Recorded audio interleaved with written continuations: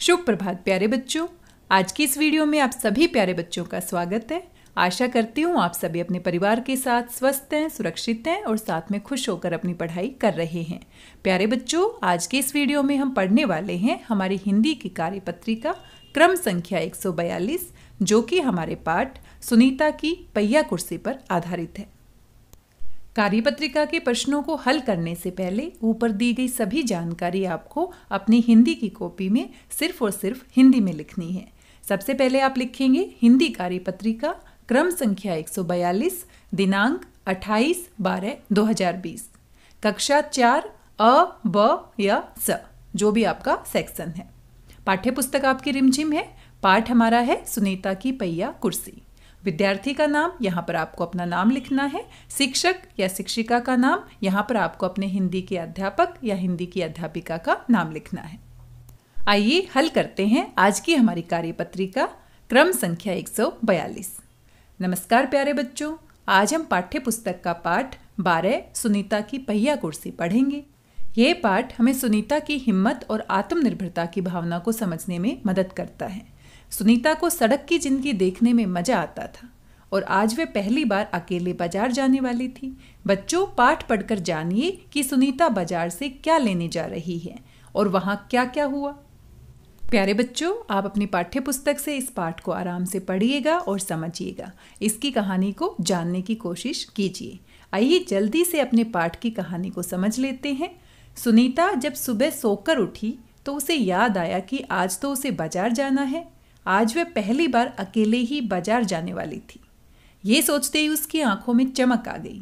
हालाँकि सुनीता चलने फिरने के लिए पहिया कुर्सी की मदद लेती थी, लेकिन वह अपने रोज़ाना के काम जैसे कपड़े बदलना, जूते पहनना आदि खुद ही कर लेती थी। वह जल्दी ही नहा धोकर तैयार हो गई। नाश्ता करते करते जब उसने माँ से पूछा कि बाज़ार से क्या क्या लाना है तो माँ ने उसे एक किलो चीनी लाने के लिए कहा।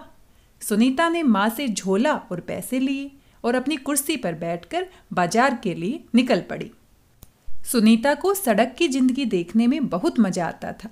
छुट्टी का दिन होने के कारण बहुत से बच्चे खेल के मैदान में खेल रहे थे। उन्हें देखकर सुनीता उदास हो गई, क्योंकि वह भी उनके साथ खेलना चाहती थी। खेल के मैदान में सुनीता को एक लड़की फरीदा नज़र आई। उसकी माँ उसे लेने आई हुई थी। वहाँ एक लड़का अमित भी था। जिसे सब छोटू छोटू कहकर चिढ़ा रहे थे, क्योंकि उसका कद बाकी बच्चों से बहुत छोटा था। रास्ते में कई लोग सुनीता को पहिया कुर्सी पर देखकर मुस्कुराए। सुनीता को उनका ये व्यवहार अजीब लगा। आगे चलने पर उसे फिर से फरीदा दिखाई दी। फरीदा ने उससे उसकी पहिया कुर्सी के बारे में पूछा। इससे पहले कि सुनीता उसे कुछ बताती, फरीदा की माँ उसे वहाँ से ले गई। सुनीता और आगे बढ़ी। वह दुकान तक तो पहुँच गई, परंतु दुकान के अंदर जाने के लिए कुछ सीढ़ियाँ चढ़नी पड़ती, जो उसके लिए बहुत कठिन था। सुनीता बाहर ही रुक गई। कुछ समय तक किसी ने भी उस पर ध्यान नहीं दिया। तभी वहाँ अमिता पहुँचा। उसने पहिया कुर्सी को दुकान तक पहुँचाने में उसकी मदद की। जब दुकान में पहुंचकर सुनीता ने चीनी खरीदी तो दुकानदार ने चीनी की थैली उसकी गोद में रख दी। सुनीता को दुकानदार का ये व्यवहार अच्छा नहीं लगा। वापसी में जब उसने अमित से इसके बारे में बातचीत की, तब उसने कहा कि तुम पहिया कुर्सी पर बैठती हो और मेरा कद छोटा है, इसीलिए लोग हमारे साथ ऐसा व्यवहार करते हैं। लेकिन सुनीता अपने आप को दूसरों से अलग नहीं मानती थी। दुकान से लौटते वक्त उन्हें फिर से फरीदा मिल गई। अमित सुनीता की पहिया कुर्सी के पीछे चढ़ गया और वे दोनों तेज़ी से आगे बढ़ने लगी। फरीदा भी उनके साथ साथ दौड़ने लगी। लोग उन्हें अभी भी देख रहे थे। परंतु अब सुनीता को उनकी परवाह नहीं थी। देखा प्यारे बच्चों आपने, सुनीता कितनी बहादुर है और कितनी आत्मनिर्भर है। वो अपने पैरों से नहीं चल पाती है, अपनी पहिया कुर्सी की सहायता से चलती है, लेकिन फिर भी सुनीता अपने सारे काम बहुत अच्छे तरीके से कर लेती है। सुनीता को बाहर की ज़िंदगी, सड़क की ज़िंदगी बहुत अच्छी लगती है।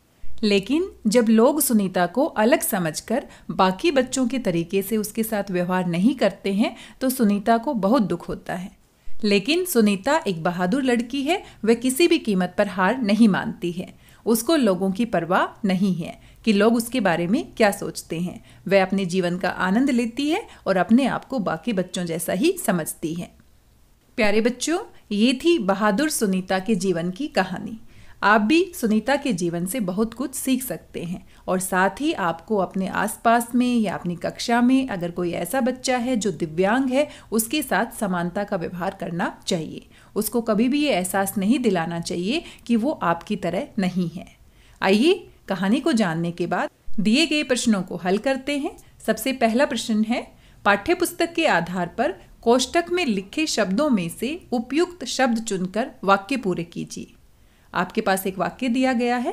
वाक्य के बीच में खाली स्थान है और कोष्टक में आपको दो शब्द दिए गए हैं। दोनों में से सही शब्द का चुनाव करके वाक्य को पूरा करना है। सबसे पहला वाक्य है क। सुनीता को खाली स्थान की ज़िंदगी देखने में मज़ा आता है। सड़क या पहाड़। अभी अभी कहानी हमने पढ़ी है और आप सभी जानते हैं सुनीता को सड़क की ज़िंदगी देखने में मज़ा आता है। ख भाग है। खेल के मैदान वाली छोटी लड़की सुनीता को दोबारा खालिस्तान की दुकान के सामने खड़ी मिली। कोष्टक में दो शब्द हैं, कपड़ों की दुकान के सामने या फिर खिलौनों की दुकान के सामने। प्यारे बच्चों, अगर पाठ को आपने ध्यान से पढ़ा है अपनी पाठ्य पुस्तक से तो आपने देखा, खेल के मैदान वाली छोटी लड़की सुनीता को दोबारा कपड़ों की दुकान के सामने खड़ी मिली। सही शब्द क्या है? कपड़ों।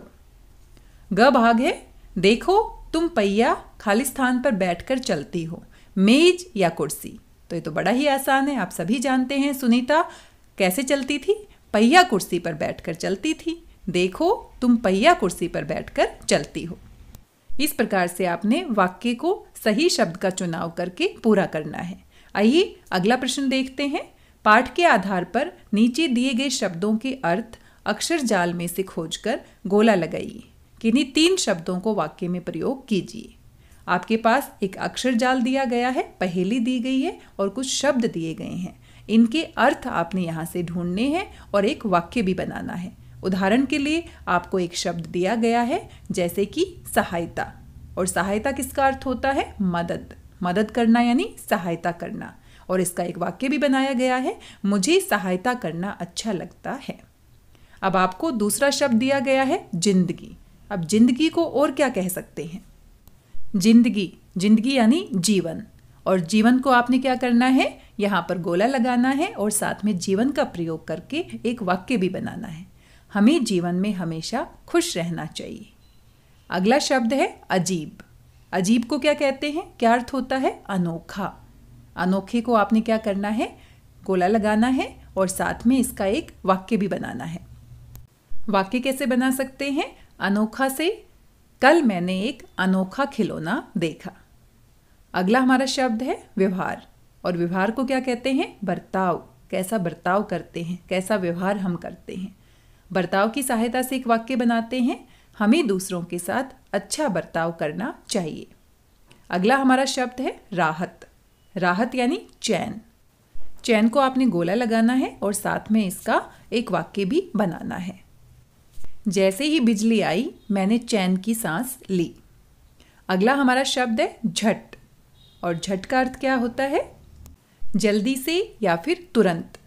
तुरंत आपका शब्द दिया गया है यहाँ पर अक्षर जाल में, इसको आपने गोला लगाना है और इसी की सहायता से एक वाक्य भी बनाना है। हमें अपना गृह कार्य तुरंत करना चाहिए।